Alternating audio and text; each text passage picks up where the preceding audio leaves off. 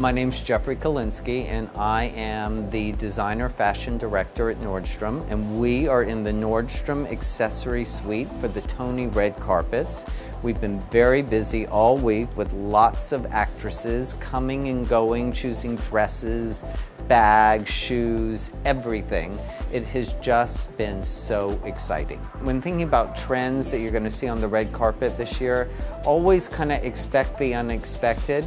Uh, with accessories, I, I, think bold statement clutches are, are, going to be key.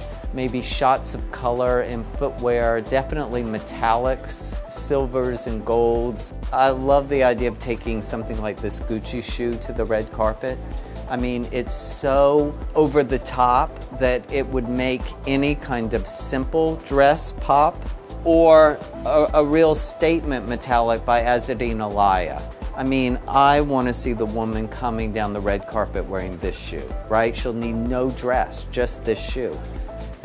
If you really want to make another statement, this Alexander McQueen is great. You, you don't need a lot of jewelry with this bag. I think that the gold and black is easy to pair with lots of things. My one piece of advice to anyone is confidence. You need confidence on that red carpet.